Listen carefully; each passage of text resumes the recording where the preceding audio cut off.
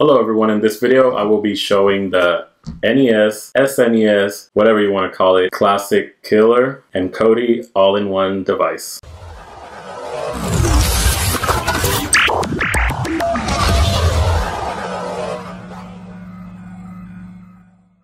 Before I get started, I have to mention that this is not my original idea. I actually followed a video by Snazzy Labs and added my own flavor to it. I will leave a link in the description on how you can make one yourself. And also I'll have another link to my website where I will describe the parts that I use, such as a blank NES cartridge from Amazon, which is actually pretty cool because it has Phillips screws instead of the proprietary Nintendo ones. So that's a plus. I was also able to design this graphic that you see here using Photoshop. So that just made everything a lot cooler in my opinion. Anyways, this whole thing came about after seeing that the NES Classic sold out everywhere. And instead of paying a ridiculous amount of money for it, I decided why not make something better. So this is basically running RetroPie, which is very easy to configure. Most of the emulators come pre-built.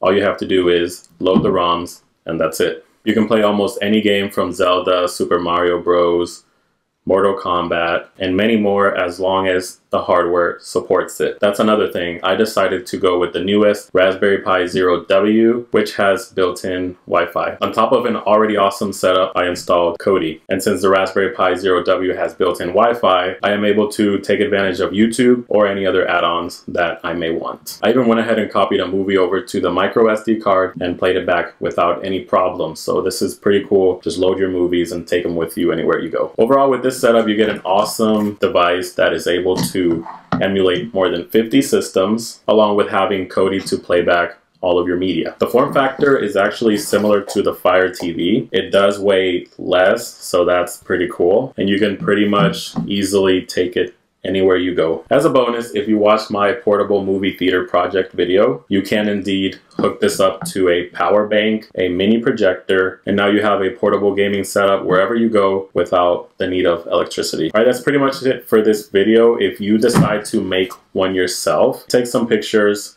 send them to me on my social media, which I'll link in the description. Let me know what you would change about this or how you would make it better. And don't forget to subscribe, like, and share this video. And as always, I'll see you guys in the next video.